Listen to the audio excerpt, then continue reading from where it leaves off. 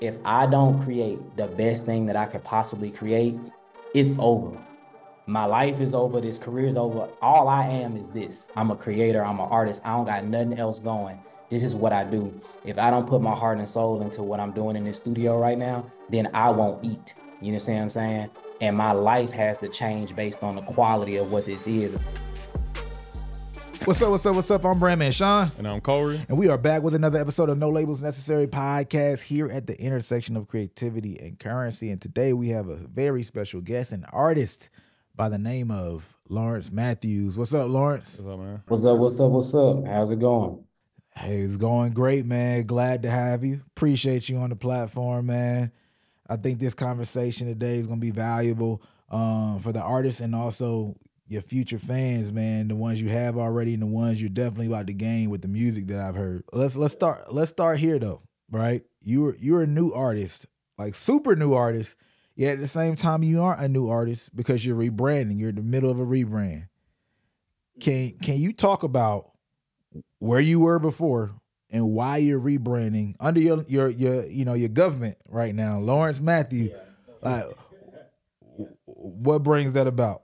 So, um, so yeah, first and foremost, thank y'all for having me on here, whatever. I appreciate it. Uh, and so I would I would say so I for maybe 10 years since I got out of high school, I was like making music under the name uh Don Lifted for a while. And it was more this kind of alternative hip hop kind of based thing. It was kind of based on a lot of the experiences I was having at the time and like the music I was making. And like I started that in Memphis and kind of built my career up doing that and also fine art and filmmaking. So like I had a whole career, you know, existing as that artist and kind of like worked my way up for like literally like 10 years, you know I mean? Like being a man where I was from and the scene that I was from and like having a lot of different firsts that had never happened and like went through that whole everything that you always hear, you know, is artists that you're trying to kind of like bring into fruition. I kind of got there. And so when I finally got there, I ended up, you know, funding my own tour uh, and going on tour and then ended up getting signed uh, to a regional kind of uh, record label. Um, and like for me at that time, I was like, yo, my whole life is changing. Like all of these beautiful things are finna come. I finally have a shot. I've been working for years and years and years to get my foot in the door to be able to like do this. And I finally got my foot in the door. And it's not to say that it wasn't like what I thought it would be, but at the same time, it was like one of those things where you just kind of lose control. Like I had been independent and kind of running my own shit for years.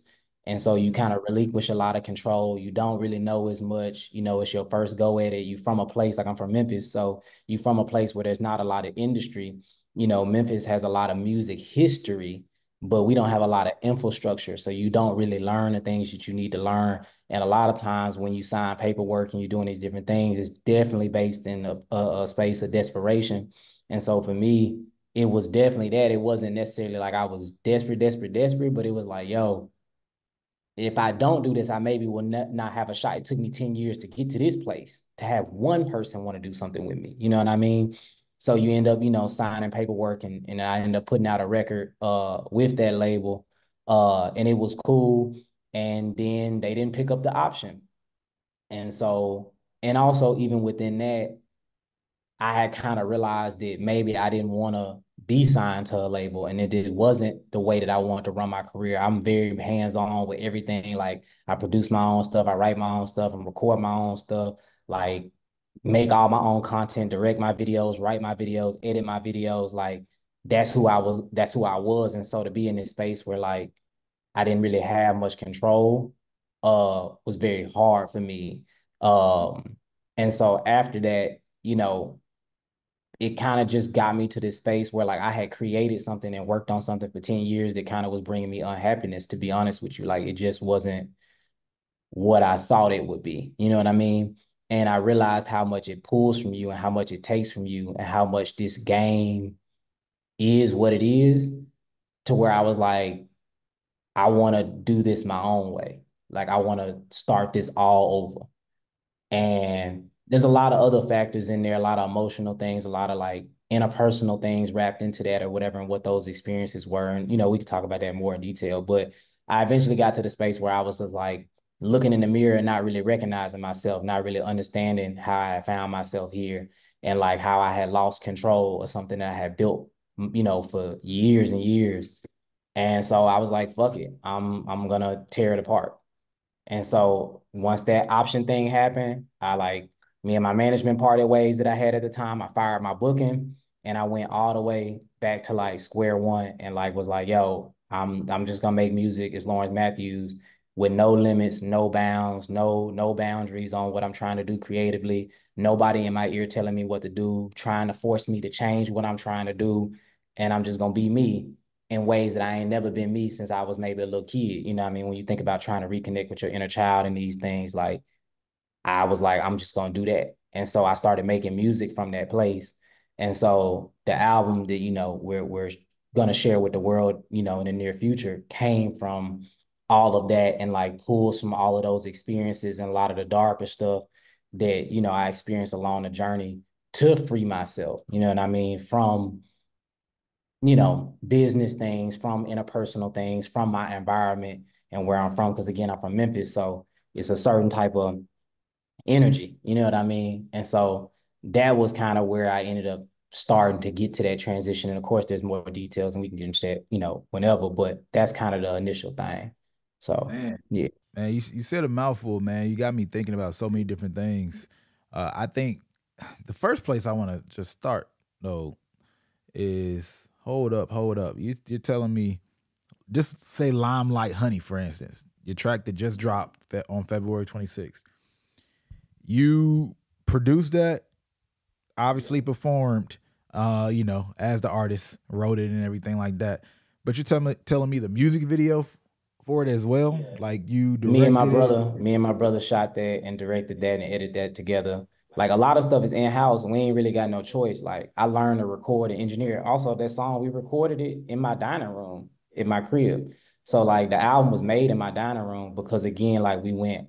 I mean, that's what I was always doing anyway. Like when we talk about, you know, artists and these different dynamics. Like when I got my first advance, I didn't spend it on nothing but buying studio equipment because I knew that at some point these people could probably take this from me. And if I go to their studios or I get connected to their people, then I'm relying on them to make music. And I never like being reliant, like I don't like relying on nobody For to sure. make to be able to make music. I pre- so I just I, bought a bunch of stuff. Let me stop you. Let me stop you. I appreciate everything you're saying, but why it's important that you did all that stuff is because your shit is hard, bro.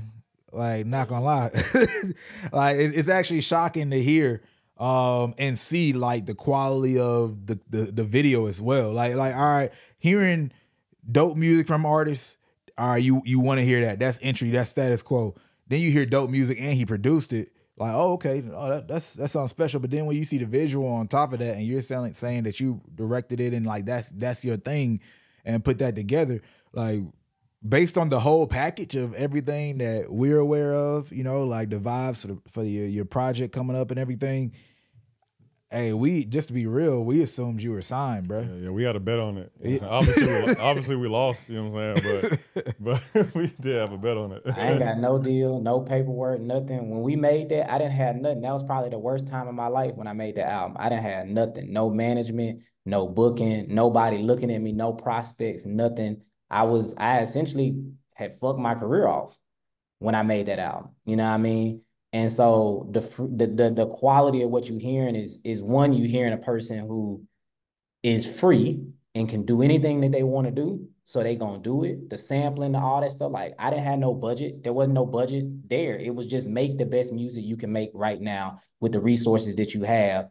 And so I just we went into the studio and did that. And so I had to shout out my homie C Major. He did my drum uh programming because I didn't know how to use MPC at the time. But I would dictate what I wanted and we would come up with the things and he would play it for me. But I would like sit in there and really compose this music and be like, hey, we're using this sample this way, chop it like this, da da da da da. Like, okay, let's do whatever, whatever. But I want to shout him out because like I wouldn't, he was my only partner in making this project. It was me and him in the studio every day for I mean, from November 2021 to like August 2022. It was just me and him in the studio in my dining room, which is the studio. But we was just in there working on this project. Um, and then also when I said you hear the, person who's, you know, free, you also hear a person is like, yo, if I don't create the best thing that I could possibly create, it's over. my life is over, this career is over. All I am is this. I'm a creator, I'm an artist. I don't got nothing else going. This is what I do. If I don't put my heart and soul into what I'm doing in this studio right now, then I won't eat. You know what I'm saying? And my life has to change based on the quality of what this is. We made this album to free me. You see what I'm saying? To free me not only from previous business circumstances or whatever, but to free me from the life that I was in and am currently kind of in. I'm in the flux right now. Like again, I'm in New York right now. It's like I wouldn't have been able to do that back then. You see what I'm saying? There was nobody there. This music has gotten me here. So the, the fact that I even have management at this point is because he heard a song that we put out just just to put it out. You see what I'm saying? And so yeah, like what you said, I ain't signed, I ain't got nothing. And you know, we still building this ship, like we building this plane while it's flying. For real, for real. All we had was the music. I want to drop a quick note for anybody who has a fan problem. And not just any old fan problem, but the type of fan problem that we encountered after helping a lot of artists go viral, have a lot of success, get a lot of streams, but still not being able to know who exactly are my fans? How do I reach them? How do I actually leverage that to sell merch, go to a show? Because that's where Spotify leaves us without knowing who our real people are.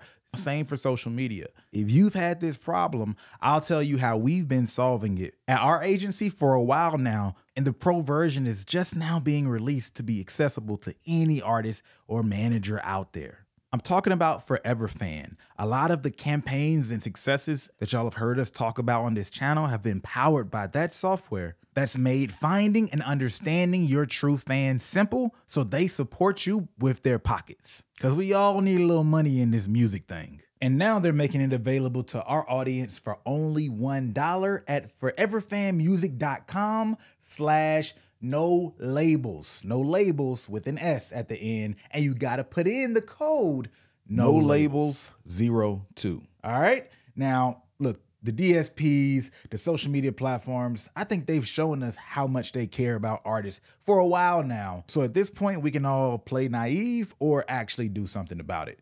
Bet on yourself at foreverfanmusic.com slash no labels. And again, put in the code no labels 02 to get initial access for only $1. Let's get back to this episode. Yeah, that's hard, man. I mean, it's, it's dope, man, because it's a it's a testament to some things we've kind of said where, like you said, like you're technically starting at ground zero in a sense of positioning, but because of mentality, you're not really at ground zero, right? Like you're mm-hmm. you're you're ahead of where the typical artist would be. Um, but you you said something earlier that that I wanted to ask you about. Well, I know I know you're from Memphis. Are you still like in Memphis? Like you're active actively out there living there and things like that. So yeah, so, I'm still based there. Yeah. Okay, so I, know you had mentioned when you were under the other name, you said you were kind of making like alternative rap. You built a name for yourself in the local Memphis scene. Now, you know, you can correct me if I'm wrong, but from what I've known about the, the, the local Memphis scene, based on who's come out the last couple of years, an alternative rapper being popular there just isn't something I would have I would have kind of expected. So can you one talk about you know from your perspective what the Memphis music scene is actually like, and then two, how were you you know you this alternative rapper able to build a name for yourself in the city that's predominantly like trap and trap music oriented? So, so the city is interesting in that way. So a lot, a lot of it's perception, right? So like the people that that see and look into the city, the only people who truly do make it out are trap and street artists mm-hmm. right? Mm-hmm. Because there's different funding and there's different come ups that they have to deal with that aren't maybe the traditional come ups. Like you can break your record in the strip club, you can break your record in the clubs, you can break your record these different places.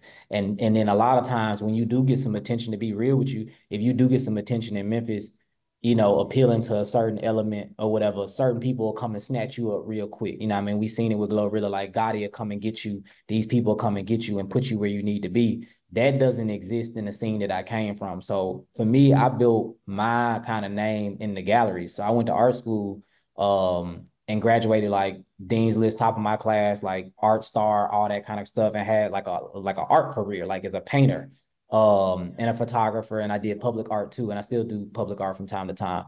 But I had a career as a visual artist and was like, you know, going back and forth between that and music. So when I started building my fan base, I tried to go some of those more traditional routes where I was performing at the clubs and the places and the little speakeasies and spots that like people kind of build their careers at, right? Specifically when you like into like the the alt side, which is like through the poetry scene and stuff like that.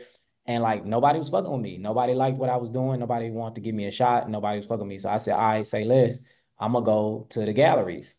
And so I found a spot uh, that allowed me to rent the space for like $60 a night.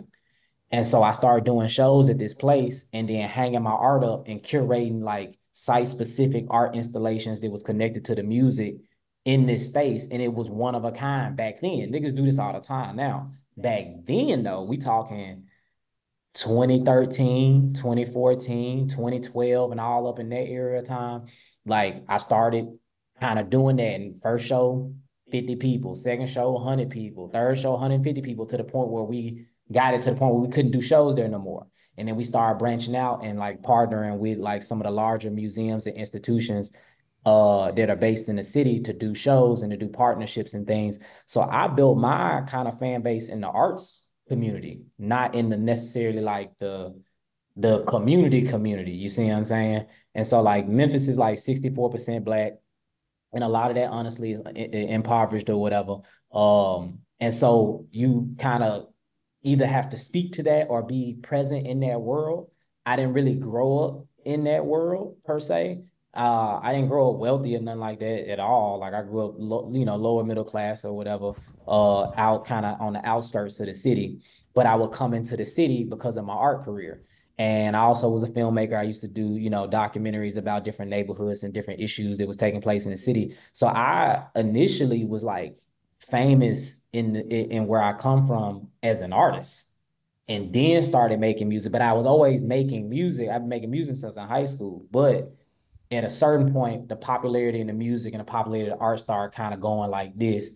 And so I found myself in this intersection where I had a lot of white fans to be to be 100% with you like making the music that I was making before the audience was mostly white folks and alt people you know what I mean like alt people um but maybe street folks weren't aware of me like that but then at the same time I would be like on the cover of all the local magazines and all like I would get all the press and all the articles because I existed in this intersection of fine art film music um and of course there's like this inherent like racism that's kind of built into that like you're the different nigga you know what i mean so like there's some aspect yeah. of like being aware of that you know what i mean uh you know what i mean is that how that go because they yeah. want to reward you when you stand out from the bunch and so that's a thing to be real especially where i come from that's a big thing but a lot of people who had ability to pr- platform me uh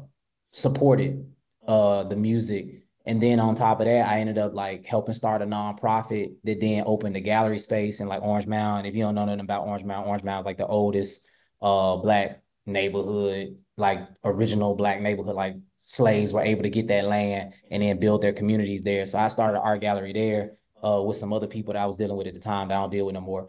But um I was able to like yeah, I was like known, like super known for all of these different things. And depending on who you talk to, they would know me for one thing or another. Uh, but as the music kind of kept going and kind of kept going, I got more and more known, more and more successful, but not in a mainstream kind of way. It's very scene based in Memphis.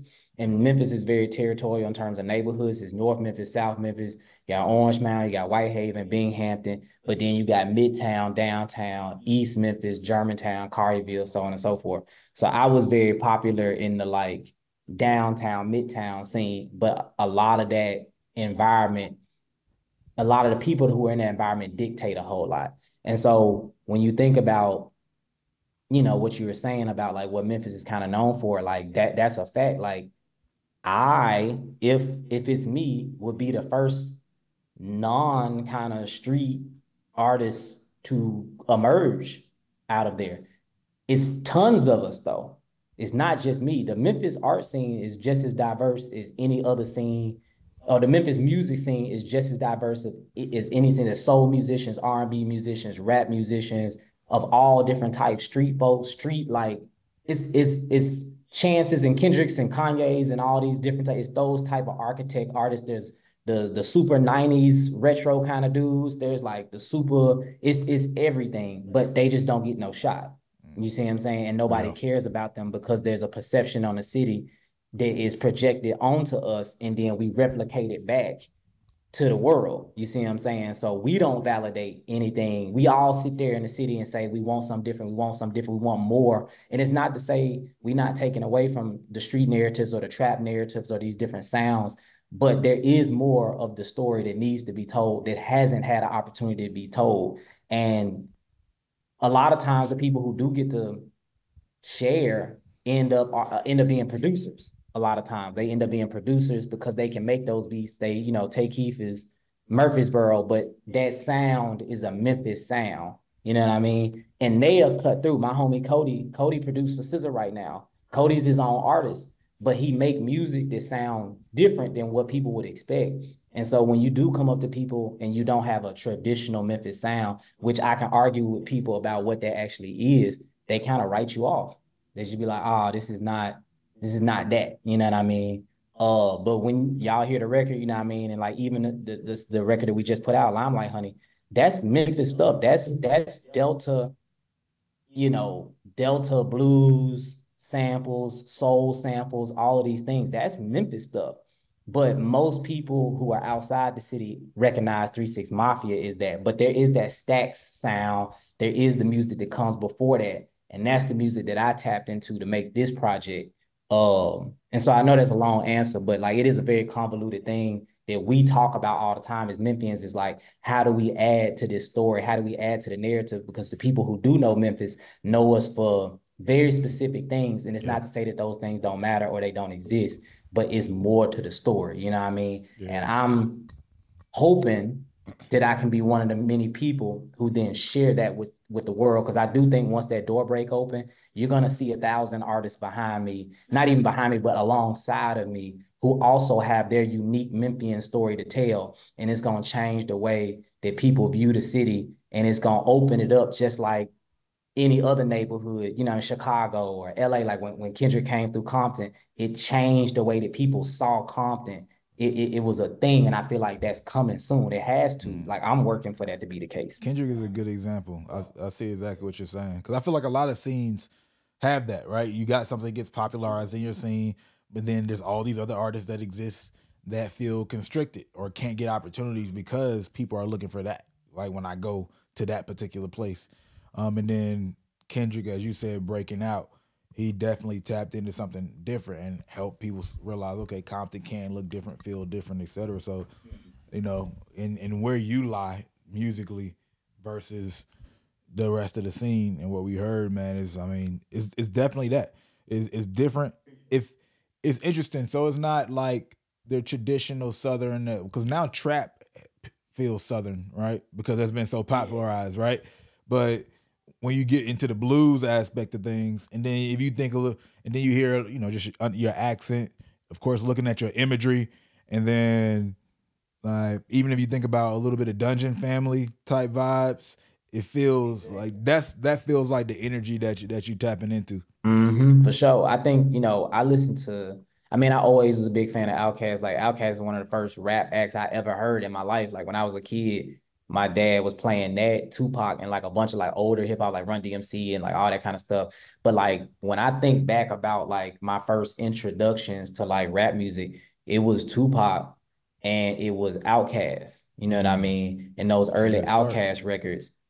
And so for me, when I think of what Southern music sounds like to me, it sounds like when you listen to Outkast records, you hear the amalgamation of influences that come from the South. You hear the church, you hear the blues, you hear yeah, rock and roll, you hear all these things. These are essential elements. Every uh, uh, jazz, every single American music comes from that that pipeline, whether it's New Orleans, to to to Mississippi to Memphis, and then it goes up to Chicago, then it goes up to Harlem, then it goes out to South Central Los Angeles. You see what I'm saying? And so for me, what I want to do, and and and then again, like for me, it, it, mirrors my own personal journey of me tapping back into who Lawrence Matthews is. Let me take this genre that I love so much and tap back into it, and take this region that I love so much and tap back into the originalness of this thing. So let me go and get these blues musicians and sample them in these like rock because it then comes into the rock like this old because it sounds like that, but it's not really that.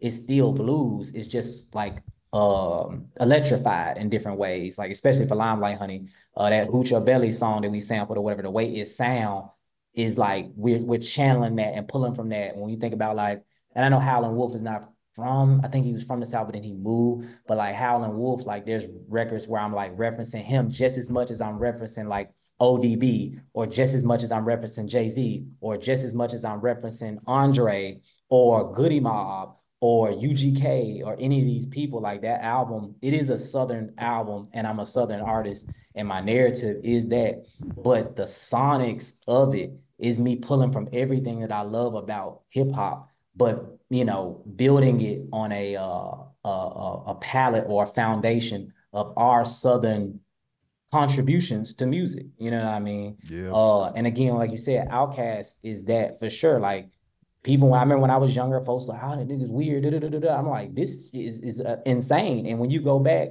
and look at those videos, look at how groundbreaking those videos are mm-hmm. to this day. Yeah. The representation, the way that they like pulling all of these different influences together. There is nobody close none of us are going to get that. Like they had something special. We can only aspire to it. And for me, that was me. Like this album is very much like me trying to live in a tradition and like live up to the tradition of the amazing, amazing music that has come from Memphis, that has come from Atlanta, that has come from Houston, St. Louis, um, you know, I mean, D- DC even like I throw DC in there because you know they they they right there too. So they, they definitely, definitely. What's your favorite Outkast video while we on that? Oh, um, Rosa Parks.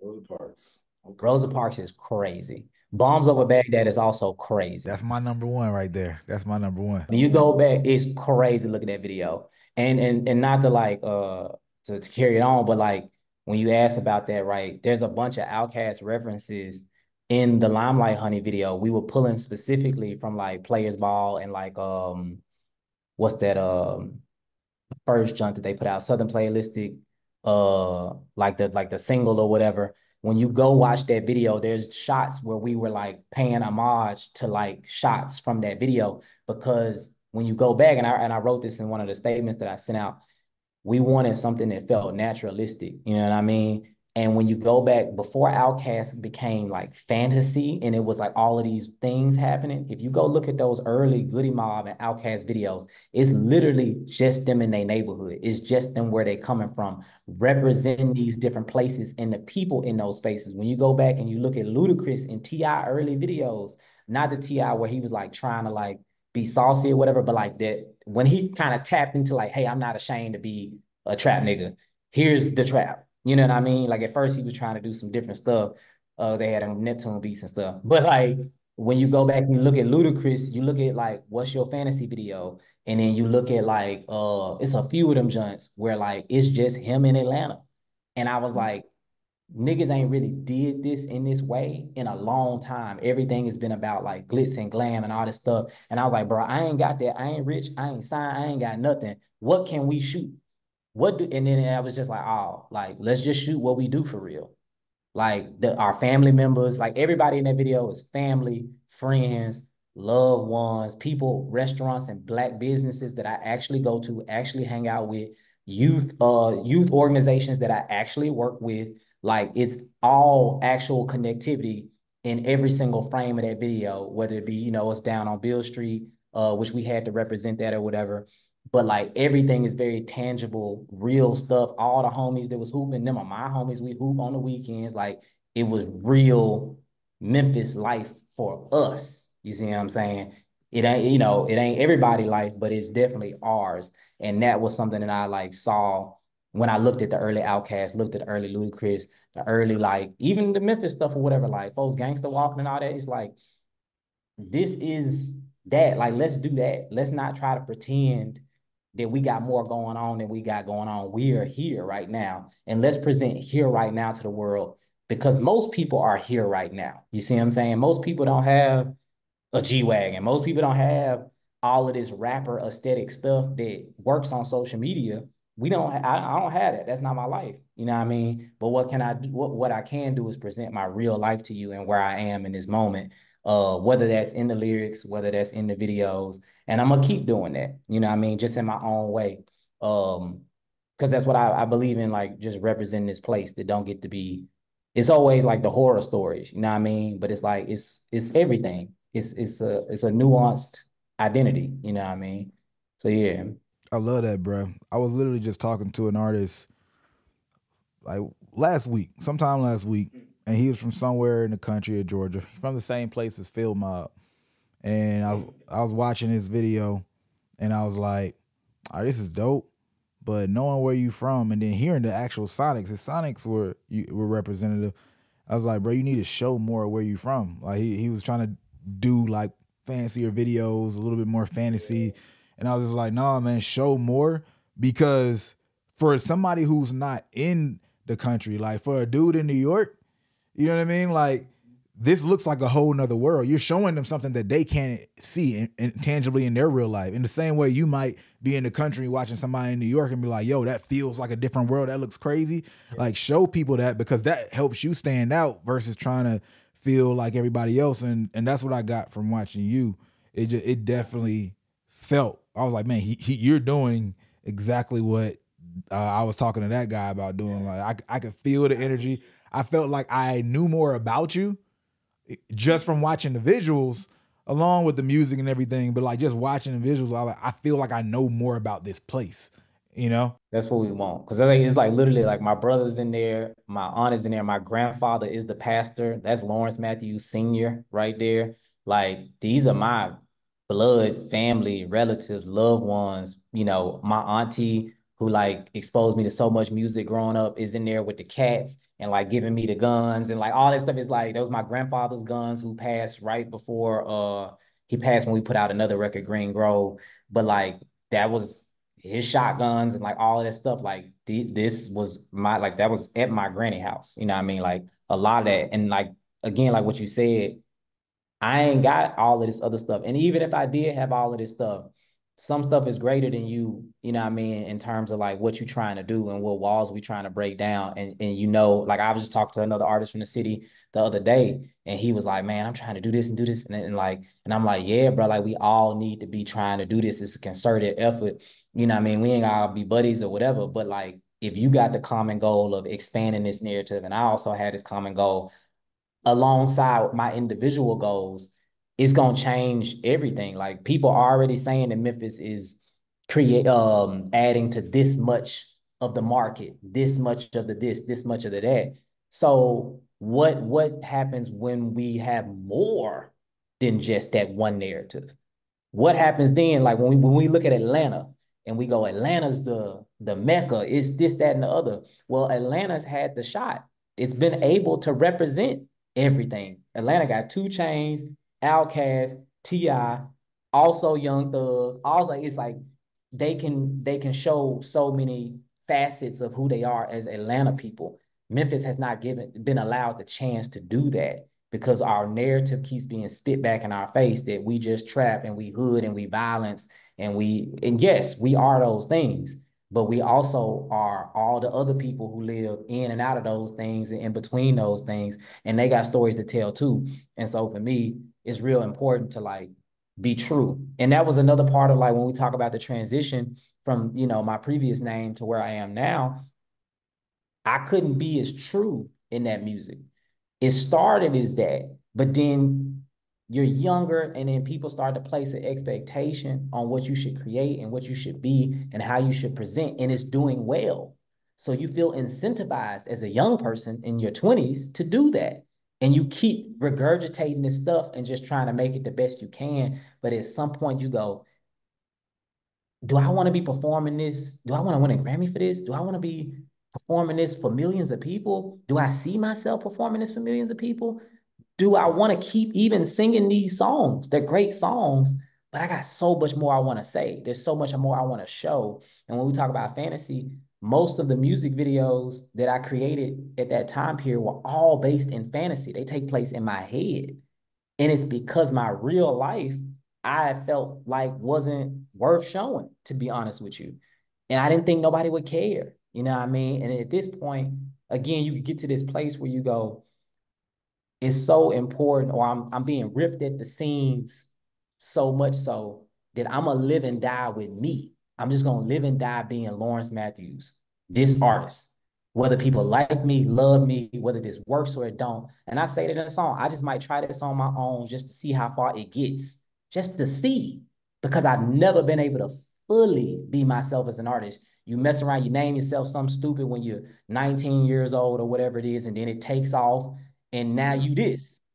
And now you sign paperwork as this and all mm-hmm. kind of other stuff. And so now you have to live out this thing. You have expectations of something that you not even are. You're not even that no more. And when do you get to evolve? When do you get to share something new? And if you got paperwork on you, never, nigga, never. And I learned that in the visual art space. You make a great painting, they want you to keep making that painting, make it forever and ever and ever because we get to brand you this way we don't care that you evolve. We don't care that you want to do photos no more. We don't, we don't care what you want to do. We want to want you to do what makes us money. You see what I'm saying? And so for me, when I stepped away from all of that, I was really like, you know, some cliche shit, like choosing me at the end of the day and being like, I'm gonna live and die as me. I'm gonna share this art as me. Whether it fails or succeeds, my name is on it. It's me. So because of that, I'm gonna pour my heart, my soul, everything I got, every resource every phone call I can make. And that's how I ended up even being back in this space again, is by being like, this is me, it's connected to me, not in a way of like, oh, this is just what I do. No, this is what I am. And so in that space, I got to call, email, get anybody I can to understand what I'm trying to do here, to figure out how to fund it, to figure out how to share it with the world, to figure out how to how to maximize it. And that's it is what it is, because because it's me it's literally me. That album is me. The, the, the success and failure of that is the success and life or death of me as a person is directly connected because that's the the deal that I made my with myself when when we went into the studio to make that and we were like, yo, this guy saved my life. Or I'm gonna be out here fucked up. I'm gonna be out here throwing boxes or living in a way that I don't want to live. Nigga, I tell you right now, I don't, uh-uh, I'll check out. I'm cool. That's not the life I want. I've done it before. You see what I'm saying? All my niggas do it and not the rant, but all my niggas throw boxes. All my niggas work for Amazon and FedEx and this place and that place and that place. They're factory workers. That's all that get produced. You see what I'm saying? My skills are art based. I don't got no other skills. You see what I'm saying? So if I don't do this, I don't get to live. So it's it, it's it's everything for me to to to get this where it needs to go and share with as many people as possible. Um, and to share this narrative and to share this story because it's not just mine. It's a bunch of people who live that life, who have those experiences. They may not be as specific, but they exist and they deserve to have a voice too, just like the drug dealer, just like the drug user, just like the pimp, the whatever, whatever it is, whatever it is that you are, that you subscribe to, you know what I mean? Like everybody should be able to to tell a story. And we haven't been allowed to do that.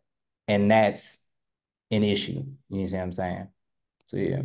Yeah, I'm I'm just curious, man, because you know, in in the creative space, like the, the big goal of a lot of creatives is is to just be able to usually live off whatever their uh, particular art form is. Um, you know, I, I, I assume many ascribe to be highly successful in it. And hearing you talk about your art background, man, it sounds like you were you were moving in a pretty good direction of being like like a, a really top visual fine fine fine arts artist. So I'm just curious, like, what made you step away from that world and, and go into music? You know, like, what was kind of the, the thought process there? And then two, um, can you walk me through the emotions and the the, the mind state you kind of had at that time, right? Like like making the decisions to jump from this thing where I'm, I'm seeing momentum, I'm, I'm making a name, right? It's allowing me to build out, but you know, there's this other thing that I want to jump into? The easy answer, to be honest with you, is like I just loved. I love music. I love music way more than anything else in the world. To be honest with you, uh, I ended up probably in the art space because it was uh, incentivized. Like I, I, tell people this all the time. I don't know if I was like destined to be some great visual artist or just people kept telling me to do it. And so, like when you a kid, we all draw. Y'all drew when y'all was kids. I don't know one person that didn't draw when they was a kid. Yeah. I think yeah. some people just get told, "Hey, you should keep doing this," or "You should not." Hey, you suck. But we all kind of suck. It's just like it's kid drawings. You know what I mean? Ain't no kid ever drew a Picasso. You know what I mean? Like so, it's just like you just keep drawing, and so you go through school, and everybody's like, "You're gonna be an artist. You're gonna be a great artist." And I think I realized one day that most of that had been projected onto me it sucks to find it out in your late 20s, but you find it out. You see what I'm saying? And so for me, I went to school for that. You know what I mean? Like I that was and I, and for me, to be honest with you, I went to school for art, did really, really well, and then transferred to Maryland uh so I could be closer to New York. I had low self-worth, low self-esteem. So I believed I couldn't get into school in New York. So I didn't even apply. I ended up applying to schools in Maryland. I was like, it's two hours away or whatever. I'm gonna take my time and like drive up to New York and work on music and try to get my demos to people and my mixtapes to people. And like maybe I'll get signed. That never happened, right? I never even got to New York. I was so bogged down working and going to school and dealing with like substance abuse and women and all this other stuff that I just didn't do nothing. I got kicked out of school, came back to Memphis, and locked in on visual art while making music at the same time. Cause like, you know, my mom was paying, you know, we struggling to be in school. I was barely in school every semester. Uh, always had some some money, you know, uh, left over or whatever. Like in terms of like I owed some money every semester and had to figure it out every single semester. And so at a certain point, it was about living up to what my mom and my grandmother and people had wanted for me. None of my niggas went to college. None of them. I'm the only cousin male mm-hmm. cousin that went to college. My dad didn't go to college. My uncles didn't go to college. So mm-hmm. it was a lot being kind of put on me to to do that. You know what I mean? And so I did it. And I take it seriously like I take everything else seriously. And I was good. I'm great or whatever. And so, you know, I was doing very, very well. And I'm very ambitious too. So I was like, yo, I really want to do this. I can do this. I want to be in a MoMA. And I felt that way for a while and like was succeeding and selling work. My my work that I was selling was uh financing the music. Like I was able to buy my first live setup or speakers or microphones or any of that off of painting money.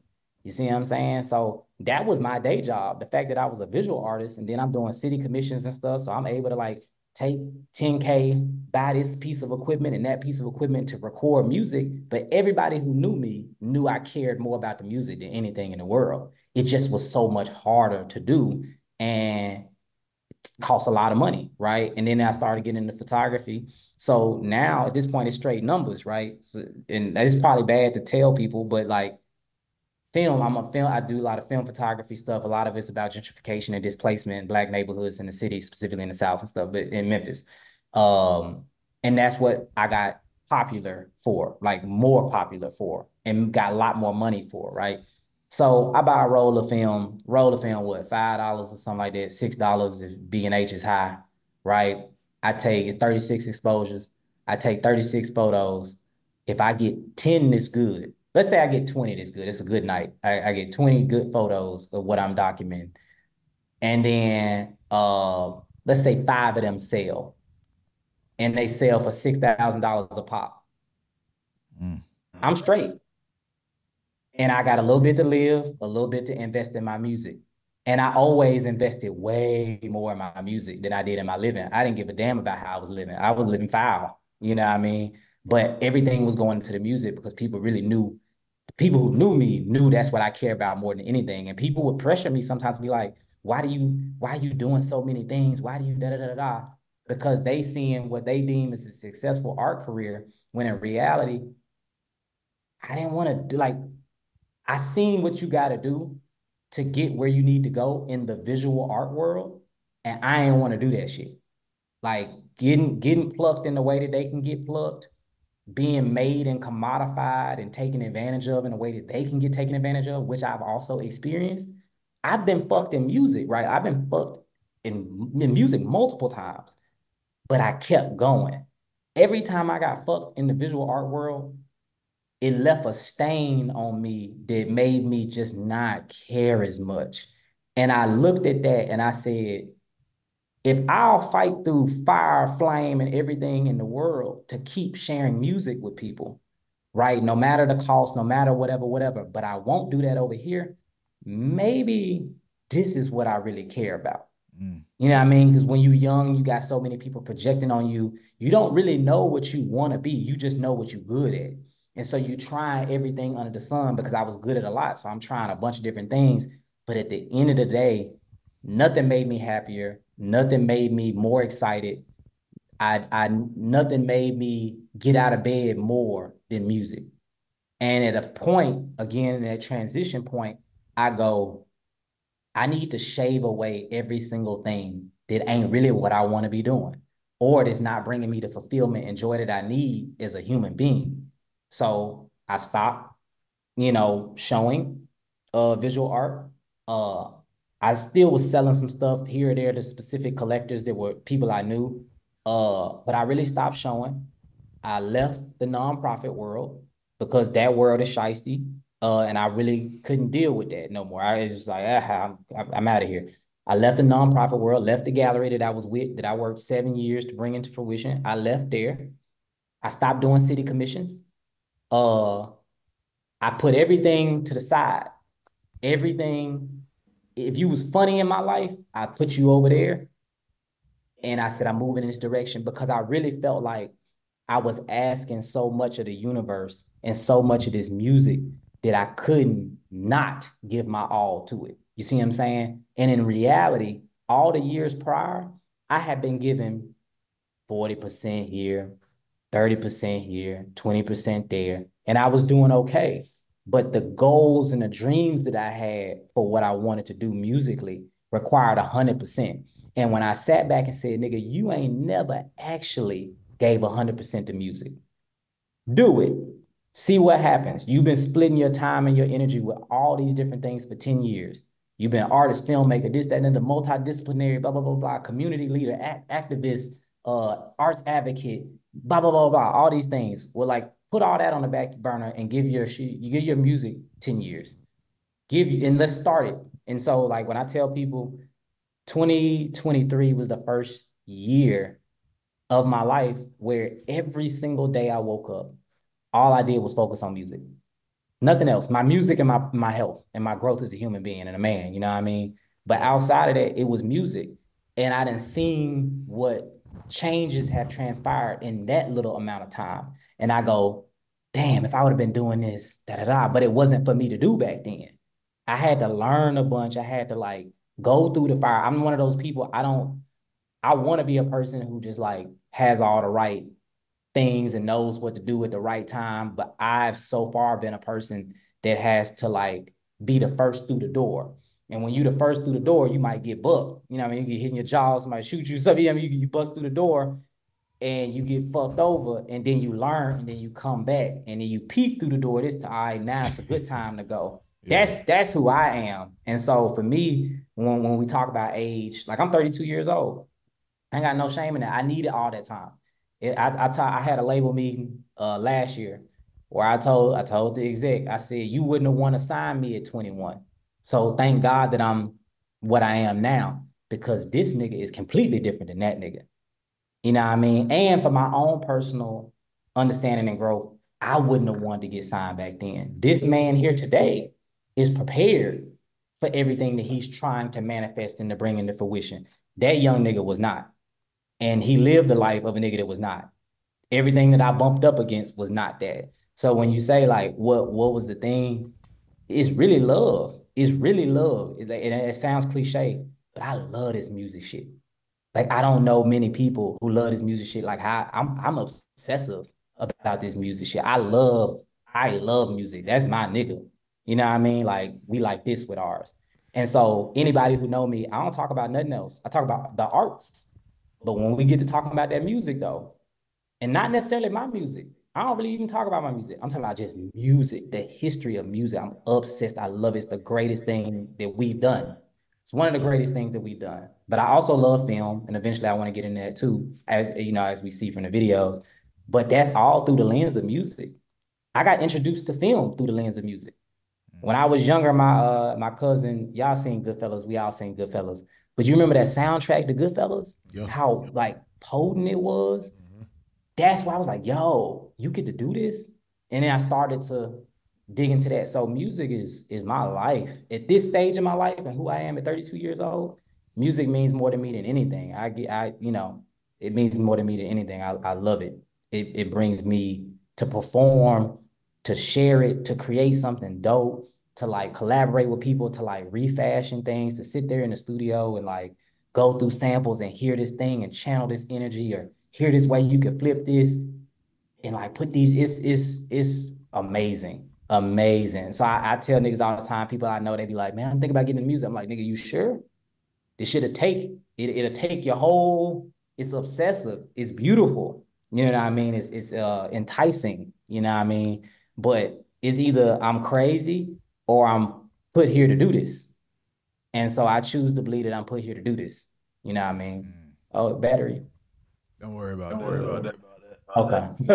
well, it, it, it'll get on a good little top, a good little line. So yeah. No, that's uh that and that's really a I don't know, man. Like everything you said was beautiful, bro. Like I, it's good to hear, you know, an artist who loves it and legitimately trying to figure it out, understands the business behind it and all that as well, and wants to make that work.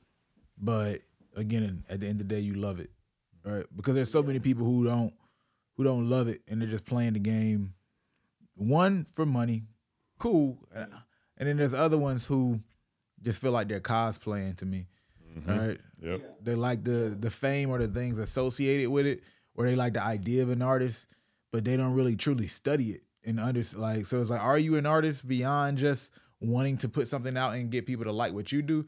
Like, cause you don't know too much about the arts beyond your own mm-hmm. output. You get what I mean? And so hearing you talk about that obsessiveness beyond your own music, right? Like that that's what I love to hear, which goes back to all the things that you talk about referencing over and over again. The greatest artists that we talk about are always referencing some other form of art. For sure. Yeah. It's it's history, it's research. Like, you know, I and like when I, I remember I got in trouble in college, I said, uh, I said it's artists, it is niggas that make art. And Yes. niggas was so offended by that. And I get it, I was being an asshole. But at the same time, it's like, nah, that's real. Like, Yeah. and I think those people they get into the game, they don't they don't struggle for 10 years trying to make this shit happen because they go right to where the money is. I'm not going to where the money is. I want to make money because it's my life, right? But I'm going to where my soul is and where my heart and my spirit is. And I want you to feel that in the music. I want you to hear it. And, and I, I wouldn't be here. Like I, I tell my management, anybody we have meetings with, I say, me being right here is a miracle. If y'all knew the ins and outs of my existence and my life and everything that I done been through, to keep doing this, when there's been times where it's been like, oh, lost it all. Oh, that didn't work. Oh, this single flopped. Like people didn't understand this. Whoop, whoop. Like booed off stage. Whoop, up. And just kept on my first show when I was, can't remember how old I was, maybe 20 or something or whatever. Yeah, niggas walked out, a whole half the room walked out because I was performing what I was performing. It was some different shit, but they walked out, walked all through me and everything. Like it was like it was like a weird little setup in there. Niggas was walking in front of me and behind me. I'm sitting there trying to rap. And I remember, man, I was sick. I had invited family. My girl was there. My fa- I was sick. And I remember just not speaking. I just remember like going, we went to IHOP and I was sitting there. I ain't eating nothing. I was just sitting there. And I remember going like, I'm finna quit. And I was like, this, this is too embarrassing. This is too rough. And I remember I woke up the next day and was like, this will never happen to me again. I'm finna take control of how I do this. And I went and like saved up money for six months and bought my own microphones, my own speakers, and I started doing shows in my garage. And I was, I'm gonna do it like punk rock niggas. And then I went to the galleries. So it's just like, I love this shit. You know what I mean? Like, and I study this shit and I'm obsessive about it. If I wasn't making music, I'd probably be like a history professor or something. And then like with the visual art stuff, it was very easy for me to to make the type of art I was making because it's so research based. A lot of it is about uh, a lot of it has been about, you know, black circumstances, black life in the South and in Memphis. So it's research based. So I'm spending all this time researching and then making the piece based in that research. And so with the music, it's kind of the same thing. I just love the music more. So I'm sitting here diving into blues, diving into these early art forms and putting together and fashioning what this is and channeling that spirit and that energy that was present, you know, in that in that stuff. You know what I mean? And I'm gonna keep doing that. Like, you know, we got this album again. I said that album was done in, in 2022.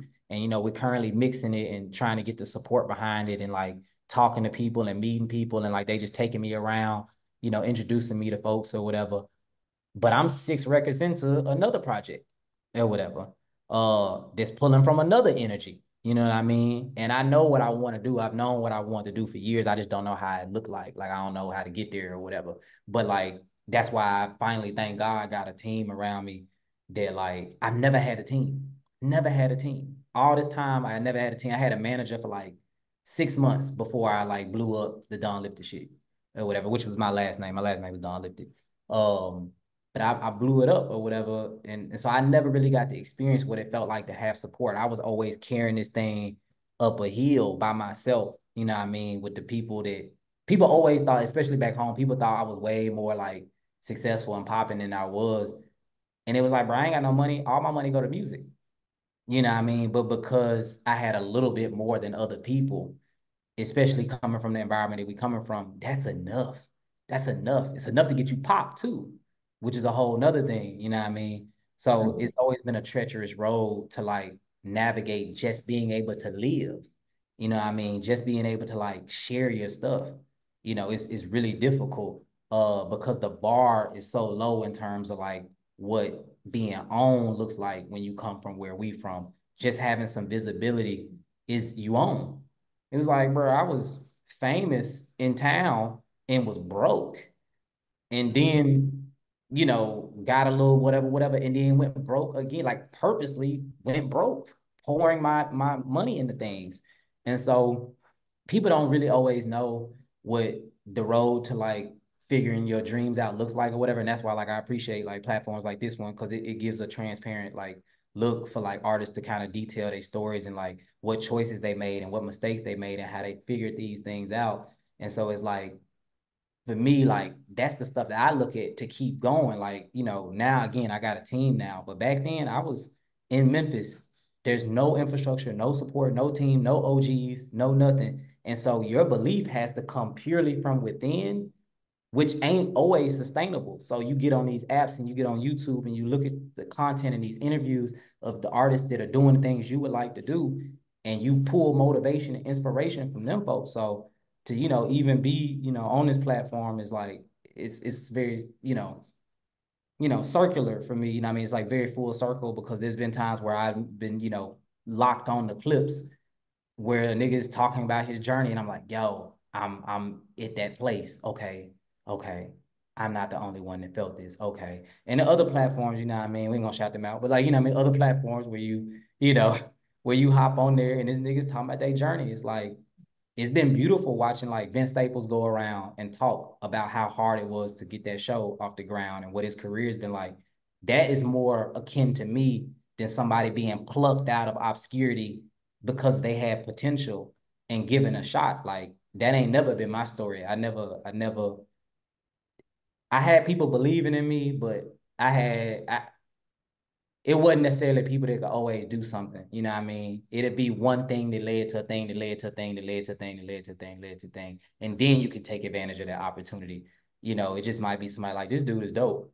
But it wasn't like, hey, come here, come with me, and da da da. Like I'm just getting to that space where where I made something that's strong enough and and and locked in enough for anybody to even invest the time and energy into me in a way that's non-exploitable. You know what I mean? So, you know, d- definitely, definitely shout out to y'all for like providing that type of platform for niggas to like go through and talk about the stuff that we talking about. You know what I mean? So yeah. For sure, man. Appreciate it, man. Yeah, man. And, and appreciate you having you on, man. I definitely think your story and so much of what you laid out here is gonna help like just not only artists, but just people in general who are actually like struggling to achieve a dream in general. You know what I mean? And um, you know, and I know as you continue to build and get more visibility for people to be able to come back to this, you know, in contrast where you are versus everything you were saying and talking about right now, going back into the history is gonna be beautiful, man. So yeah, appreciate having you on once again, man. Uh, yo, everybody, this is Lawrence Matthews. This is yet another episode of No Labels Necessaries. I'm BrandMan Sean, And I'm Kohrey. and we out. Peace.